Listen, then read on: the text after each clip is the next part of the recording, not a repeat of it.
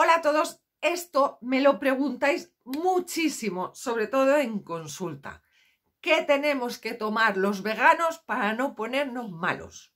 Bien, pues hoy os traigo los seis nutrientes que jamás de los jamases deberían faltar en una dieta vegana. Mirar, la dieta vegana, para aquel que decida tenerla, conlleva una gran cantidad de beneficios para nuestra salud. Entre, entre, ellos, evitar la diabetes tipo 2, el cáncer, la obesidad y mejorar nuestra presión arterial. Sin embargo, una dieta vegana mal planificada puede hacer que nuestro organismo tenga deficiencia de seis nutrientes bastante esenciales, como serían la vitamina B12, el hierro, el calcio, el omega 3, las proteínas y la vitamina D. De esta manera, traeríamos a nuestra salud más perjuicios que beneficios. La falta de estos seis nutrientes por culpa de una dieta vegana mal planificada ha sido relacionada con problemas neurológicos, anemias inexplicables, trastornos óseos y múltiples problemas de salud.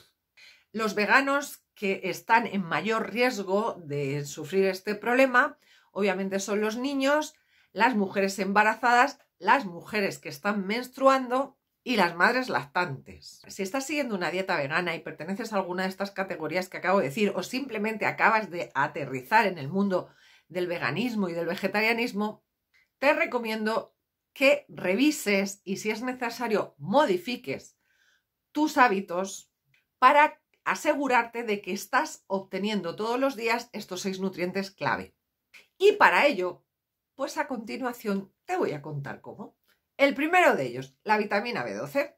La vitamina B12 mantiene sanos nuestros nervios, ayuda a fabricar la sangre y a reparar y construir nuestro ADN. Y el problema de la vitamina B12 es que se encuentra solo en alimentos de origen animal. Entonces, ¿qué puedes hacer si eres vegano y quieres tomar B12?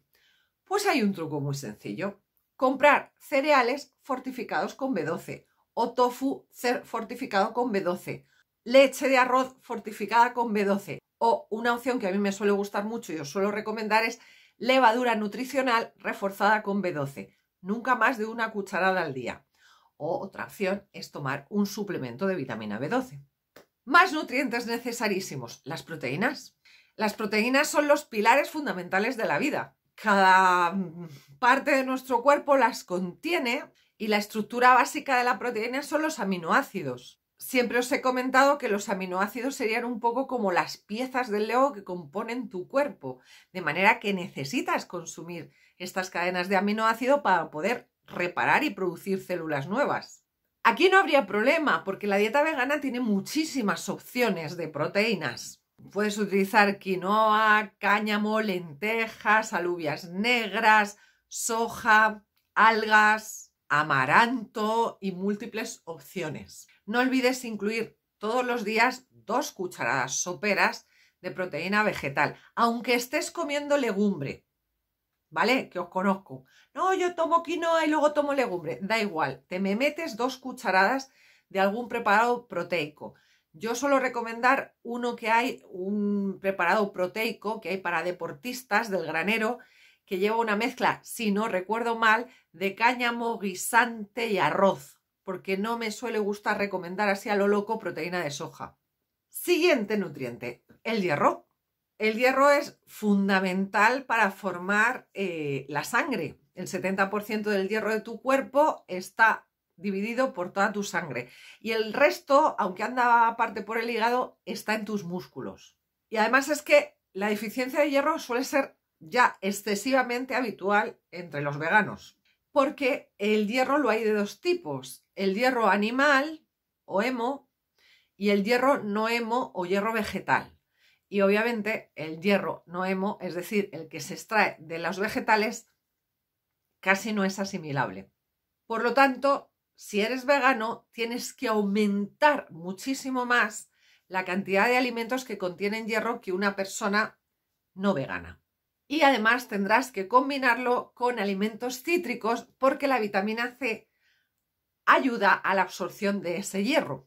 Y esto se traduce en que tendrás que aumentar tu ingesta de alubias, lentejas, garbanzos, vegetales de hoja verde, tempe, melaza, quinoa, las nueces y las semillas. Y si puedes acompañar cualquiera de estas cosas siempre con algún cítrico, pimientos, papayas, kiwis, piñas, naranjas, mandarinas, limón, bayas, tomates. Anda que no tienes opciones. Pues mucho mejor. Otro también muy guerrero, pero este ya en vegano, vegetariano, no veganos, en topichichi, la vitamina D. Madre mía, la vitamina D. La vitamina D ayuda a absorber el calcio, inhibe, es decir, que evita que se produzca cierta hormona que tiene tendencia a debilitar los huesos, mejora tu función muscular y aumenta tu sistema inmune. Si eres vegano, revertir una deficiencia de vitamina D es sencillísima. Ponte al sol de 10 a 15 minutos en los antebrazos y en la cara, sin protección solar, es más que suficiente. Si eres más oscuro de piel o eres negro o mezclado con negro o de alguna raza mm, más oscuro que el blanco, tienes que aumentar tu exposición solar de 2 a 6 veces más. Porque, ya lo he comentado más veces, os cuesta muchísimo asimilar la vitamina D del sol. Misterios de los colores. ¿Que no quieres tomar el sol o que no hay sol donde vives? Pues tómate un suplemento de vitamina D y arreglado. Más cositas. El calcio. Este mineral que ayuda a los huesos, a los dientes, pero es que además es un gran partícipe de los electrolitos del cuerpo y de tu sistema nervioso. Y a que no sabíais además que el calcio ayuda a coagular tu sangre correctamente. Pues bien, existen mogollón de opciones no lácteas para absorber calcio. Este es de los más sencillitos.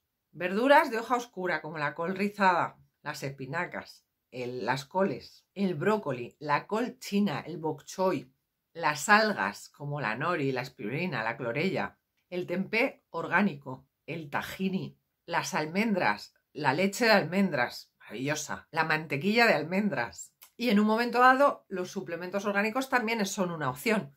Yo aquí iría de cabeza hacia el coral de Okinawa. Y si puedes encontrar un coral de Okinawa que vaya ya con su vitamina D, pues ya fenomenal. Y por último, el omega 3. Gran guerra con el omega 3, los veganos, el omega vegetal. Gran guerra aquí. El omega 3 es súper necesario para reforzar las neuronas de nuestro cerebro y para muchísimas cosas más.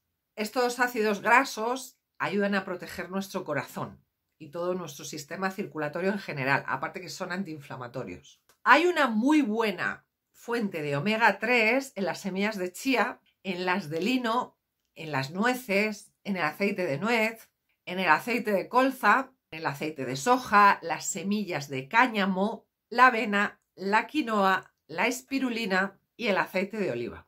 Si eres vegano o vegetariano y me has oído nombrar varias veces un mismo alimento, dígase la espirulina, que tiene proteína, que tiene B12, que tiene calcio, que tiene omegas, estás tardando en meter espirulina en tu alimentación.